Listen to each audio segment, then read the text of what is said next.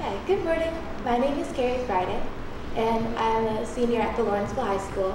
And this past summer, I worked in the lab of malaria immunology and vaccinology at the National Institutes of Health under the mentorship of Dr. Patrick Duffy and Holly Toronto. The title of my project for this summer is Generation of DNA Vaccines for Gene Gun Immunizations of Mice with Novel Pre-Erythrocytic Vaccine Candidates. The goal of the Lab of Malaria Immunology and Vaccinology is to develop an effective vaccine against malaria. Currently, over 3.4 billion people live in malaria endemic areas, and these areas here highlighted in red show where malaria is most prevalent. In 2013 alone, there were an estimated 198 million cases of malaria, and of those cases, 500,000 resulted in deaths. Although there are drugs readily available for people to try and prevent malaria, in a lot of the places where malaria is very prevalent, people are unable to afford these drugs because they have to be um, taken in continually and might also not have access to them as well. So that's why it's essential that we come up with a vaccine where somebody can take just one or two administrations of the, that vaccine and be able to prevent getting clinical malaria. Malaria is transmitted to humans when the female um, mosquito containing the malaria parasite feeds on the human and then the and then the malaria parasite, which is in the stage called the sporozoites, infect liver cells. Once the liver cells are infected, the sporozoites undergo mitotic um, replication. After they replicate in the liver cells, then they develop into merozoites and cause the liver cells to rupture. During this stage, it's considered the pre-erythrocytic stage or the pre-blood cell stage of malaria. The goal of the um, lab, the goal of our lab right now is to currently to create a pre-erythrocytic vaccine against malaria. This is because during the pre-erythrocytic stage, somebody is still infected with the malaria parasite, however they don't show any clinical signs of malaria. The clinical symptoms only come once the malaria parasite has developed into merozoites and infect the blood cell. It's also important that by creating a vaccine during the pre-erythrocytic stage, even if it's only partially effective, it'll still ultimately help decrease the initial sporozoite count and then ultimately decrease the frequency and severity of the clinical malaria. There is a current vaccine candidate called RTSS that was recently approved by the EMA this past summer. This, is, this vaccine has efficacy rates of 46% in uh, young children under the age of five years and 27% efficacy in, children, in young infants aged under five months. These efficacy rates are promising for as a first malaria vaccine because this is actually also the first vaccine ever made readily available against a parasite. However, compared to most other vaccines, efficacy rates tend to be closer to 80%. So although this vaccine is available, we still want to work towards creating a vaccine with higher efficacy rates and available for more widespread usage. In the stu studies that we're completing, we're using Plasmodium uelii circumsporozoite protein as our positive control. This is because the RTSS um, uses circumsporozoite protein as the antigenic target in, um, when the vaccine is being given, administered to humans. And Plasmodium uelii, it, because malaria, excuse me, Plasmodium is a part of, malaria parasites are a part of the Plasmodium genus. And Plasmodium uelii is the specific species that infects mice. Plasmodium falciparum is one of the most common and prevalent types and, infects humans.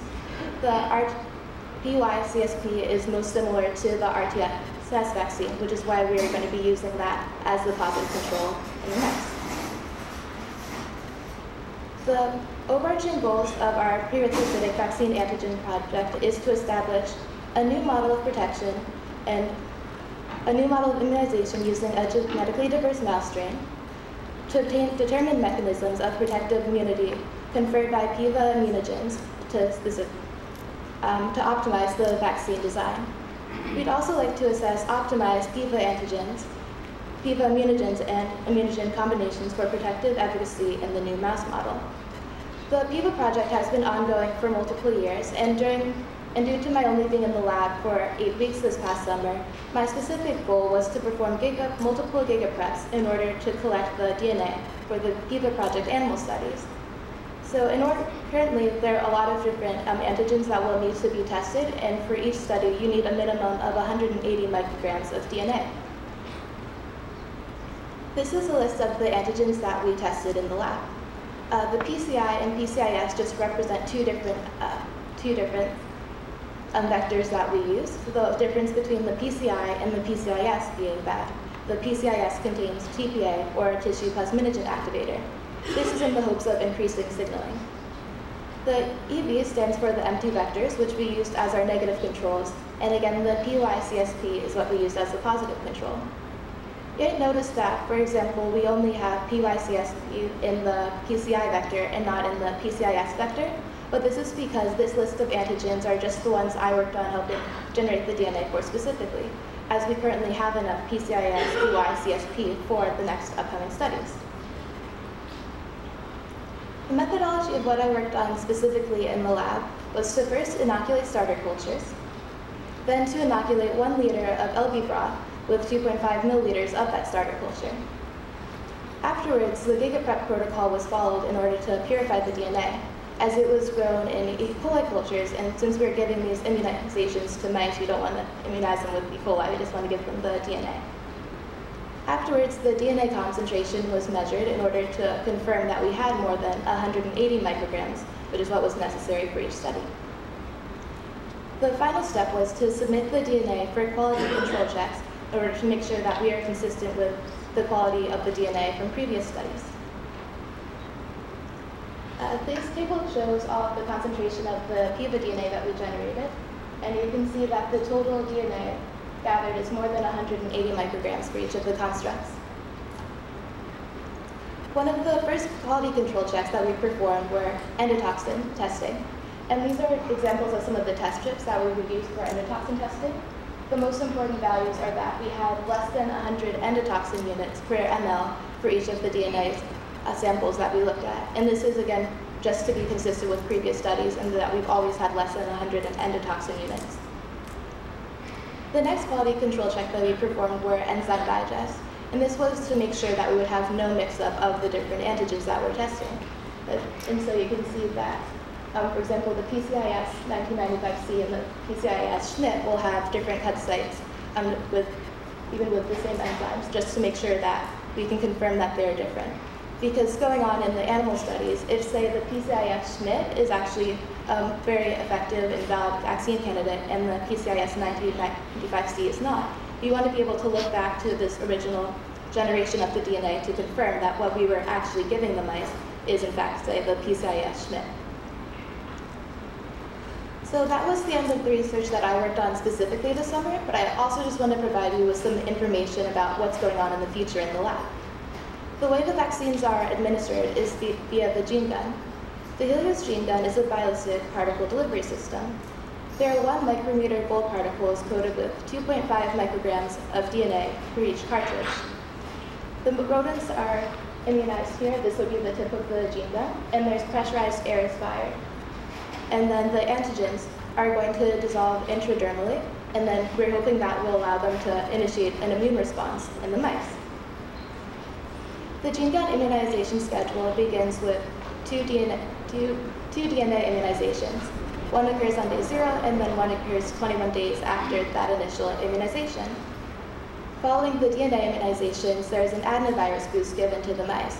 This is in the hopes of increasing the T cell response.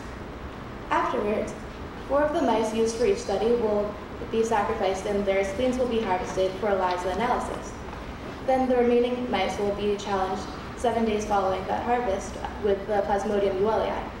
The goal of this is to achieve sterile protection. So, in conclusion, the GigaPrep of each sample tested was successfully performed.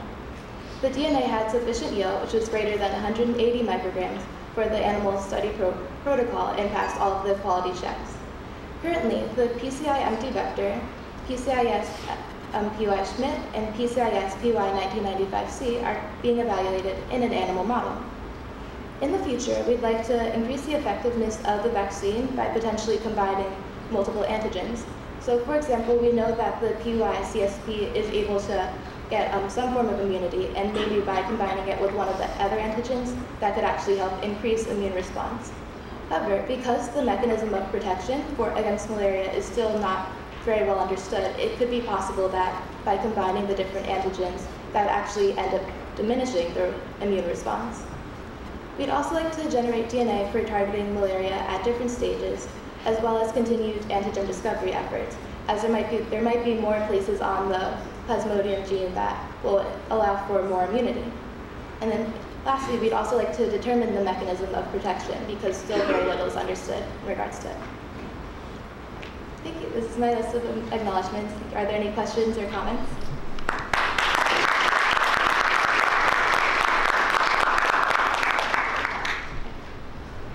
Oh, yeah. Yes. So why do you pick 100 units of uh, endotoxin? Is that like a cutoff value, normal reference? Oh, yeah. Just um, looking at previous papers and research that others have done, we just want to be consistent with that. Okay, great. So what would you do if one of your preps had greater than 100? Oh, so what we do is they're actually purification protocols. So, for example, one of them when we were um, working in the lab, it might start out and it reads over, like, say, 120. Then you go back and re-purify the DNA, and it might decrease the concentration, but that's still most the most important thing is to have less than 100 endotoxin units. Yeah. Other question? Yes. Do you know why using gene gun and not other other methods to, to increase the transfection rate of the DNA vaccine? Yeah, just because again, like with the lab, they've been using gene gun studies for some time, and it's been shown to help really give us a better understanding of like how much. It's been shown with, in previous studies that it helps elicit a very high response in mice.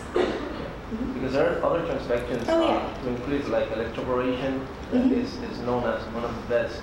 So maybe uh, trying another one besides gene gun will be a, a nice approach to compare. Oh yeah, no, that'd be good to look at in the future. Thanks. Okay.